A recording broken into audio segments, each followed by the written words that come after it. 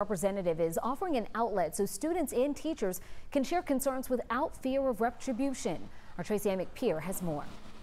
In less than 72 hours, State Representative Beth Moore says she's received more than 200 whistleblower emails from teachers and students across the state. With complaints and concerns ranging from large class sizes without social distancing to not wearing masks to a lack of cleaning supplies. She kept names anonymous but shared some of their claims, like this one from a teacher in Fulton County.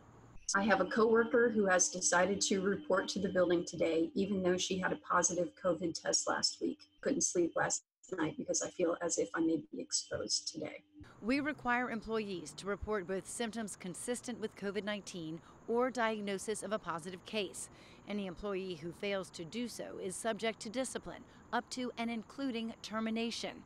The concerned coworker should direct their concern to HR, the FCS tip line, fraud, waste, abuse line, which can be made anonymously, or the zone superintendent for their school. In other words, there are numerous ways to alert the district and to have the matter assessed. Moore says she also received emails from students in Cherokee County claiming they were bullied over wanting to wear masks. Now, we talked to the school district and they say they have no reports of bullying over masks.